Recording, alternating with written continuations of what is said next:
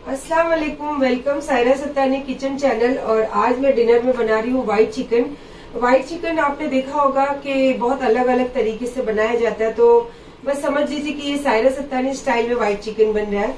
तो इसमें जो मसाले पड़ रहे हैं वो आ, बिल्कुल डिफरेंट है और जो ड्राई फ्रूट है वो भी मैं अपने तरीके से डाल रही हूँ इसके अंदर।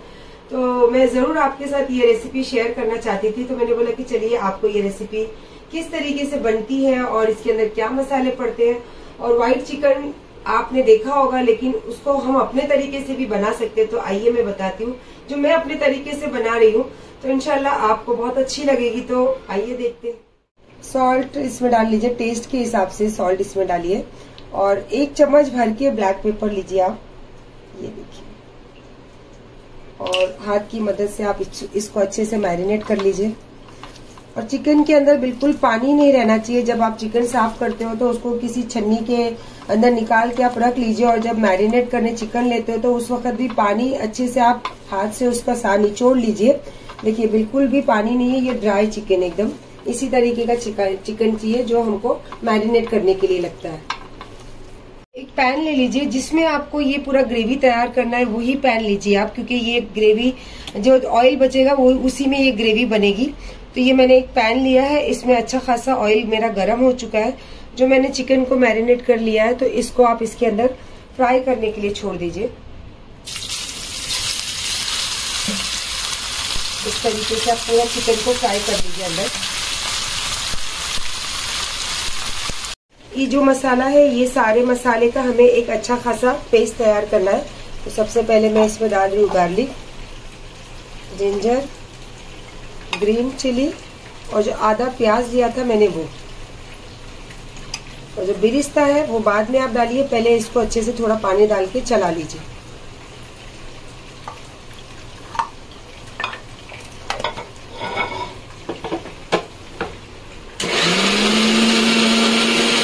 इस तरीके का फाइन पेस्ट तैयार होने के बाद अब जो बिरिस्ता है, वो भी आप इसके अंदर ले लीजिए। जैसे ड्राई फ्रूट आप देख रहे हो तो ये ड्राई फ्रूट मैंने बिल्कुल अलग अलग टेस्ट के लेके एक साथ इसको बनाने वाली हूँ। और ये जो रोस्टेड बादाम है तो ये थोड़ा फ्लेवर वाले रहते हैं तो ये रोस्टेड बादाम है। और इसी के साथ ये ब्लैक पेपर काजू है। और इसके साथ जो रेड रेड चिली पाउडर वाला जो काजू होता है, थोड़ा टेस्टी होता है ये चटपटा वाला, ये वो है। और ये तो सादे हैं। या आप कोई भी चीज़ के, जैसे कि खरबूजे के हो या पम्पकिन के हो, वो शीट आप ले सकते हो, बीज जो। ये मैंने पम्पकिन बीज ली हूँ तो ये ऑलमोस्ट ये सारे ड्राई फ्रूट है मेरे।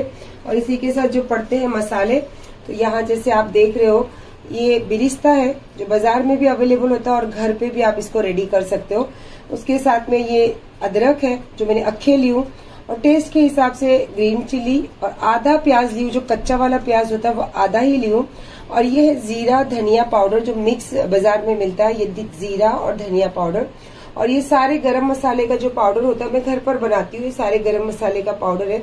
और ये है रेड चिली फ्लेक्स और इसी के साथ में बहुत सारा गार्लिक जो लहसुन होता है, खड़ा लहसुन। तो ये सारे चीज़ों को लेके मुझे एक फाइन पेस्ट तैयार करना है और खटास के लिए मैंने लिया है एक नींबू। और उसी के साथ साथ जो यहाँ पे आप देख रहे हो चिकन तो मैंने लिया है बोनलेस चिकन तो इसको सबसे पहले मैं ब्लैक पेपर और सॉल्ट से इसको मैरिनेट करके इसको मैं फ्राई करने वाली हूँ। और उसी के साथ में जहाँ जैसे कि हमारी सब्ज़ी तैयार हो जाती है या चिकन मसाला तैयार होता है तो हम ऊपर से गार्निशिंग के लिए हरा धनिया डालते हैं तो उसकी जगह पे मैं कस्तूरी मेथी डालने वाली हूँ। तो ये कस्तूरी मेथी आप बाज़ार में कहीं भी आपको मिल जाएगी। इसको आपको लेना है, थोड़ा सा इसको रोस्ट करके, फिर हाथ की मदद से दरदरा करके उसको हमको छिड़कना है तो वो मैं आपको सारा प्रोसेस बताऊँगी। सबसे पहले हम करते हैं चिकन को मैरिनेट ब्लैक पेपर और सॉल्ट के साथ। सॉल्ट इसमें डाल लीजिए टेस्ट के हिसाब से सॉल्ट इसमें डालिए। और एक चम्मच भर के ब्लैक पेपर लीजिए आप। ये देखिए। और हाथ की मदद से आप इसको अच्छे से मैरिनेट कर लीजिए। और चिकन के अंदर बिल्कुल पानी नहीं रहना चाहिए। जब आप चिकन साफ़ करते हो तो उसको किसी छन्नी के अंदर निकाल के आप रख लीजिए और जब मैरिनेट करने चिकन लेते हो तो उस वक्त भी पानी अच्छे से आप हाथ से उसका सा निचोड़ लीजिए। देखिए, बिल्कुल भी पानी नहीं है, ये ड्राई चिकन एकदम। इसी तरीके का चिकन चिकन चाहिए जो हमको मैरिनेट करने के लिए लगता है। ये जो मसाला है, ये सारे मसाले का हमें एक अच्छा खासा पेस्ट तैयार करना है। तो सबसे पहले मैं इसमें डाल रही हूँ गार्लिक जिंजर ग्रीन चिली और जो आधा प्याज लिया था मैंने वो। और जो बिरिस्ता है, वो बाद में आप डालिए, पहले इसको अच्छे से थोड़ा पानी डाल के चला लीजिए।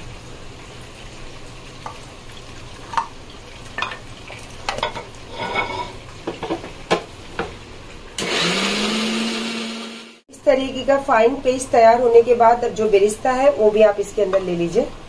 पानी का थोड़ा थोड़ा इस्तेमाल कीजिए, क्योंकि अगर एक साथ आप पानी डालोगे तो वो बहुत ज़्यादा पतला हो जाएगा। पतला नहीं चाहिए थिक चाहिए, जो मसाला हमें भूनना है। ये देखिए, चिकन इस तरीके से फ्राई हो जाना चाहिए, क्योंकि ये मसाले के साथ भी हमें थोड़ा भूनना रहता है। ये जो ब्लैक पेपर का जो टेस्ट होता है, फ्लेवर होता है, ये पूरा इसके ऊपर आ जाना चाहिए तो ये आ चुका है। तो आप इसको भी ऑयल में से निकाल लीजिए। ये पूरी तरह से अभी कुक हुआ नहीं है। ये मसाले के साथ में होगा।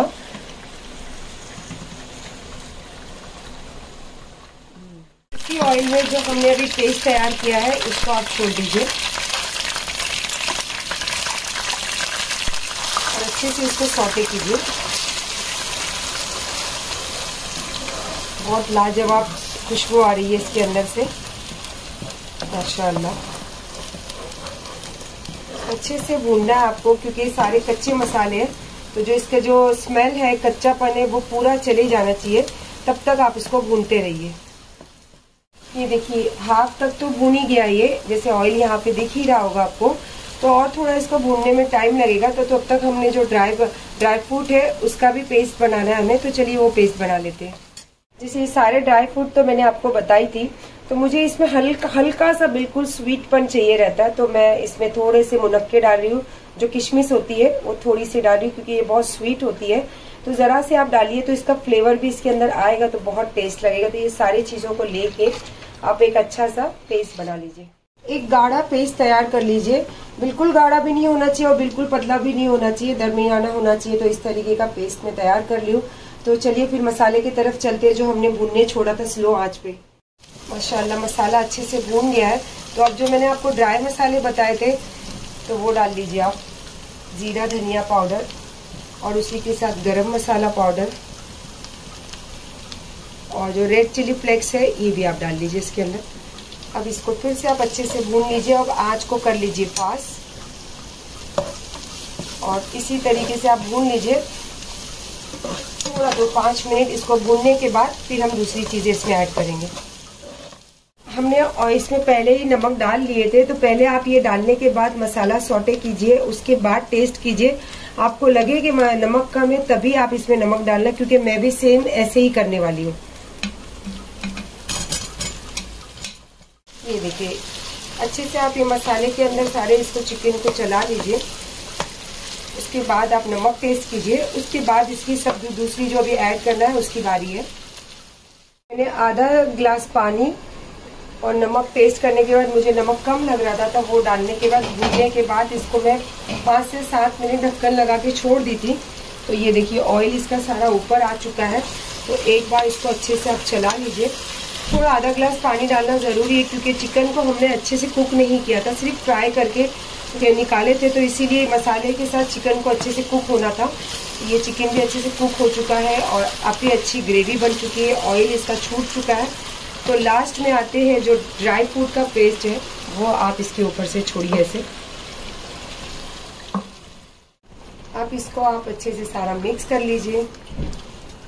ये देखिए, लग रहे हैं ना वाइट चिकन लेकिन थोड़ा अलग स्टाइल में, थोड़ा अलग मसाले और थोड़ा अलग टेस्ट के साथ। अब इसको आप पाँच मिनट अच्छे से इसको बॉईल होने दीजिए। इसके बाद जो हमने कस्तूरी मेथी है, उसके ऊपर से इसको छिड़कना है और जब ये ठंडा हो जाए तो इसके ऊपर आधा नींबू निचोड़ के आपको सर्व करना है।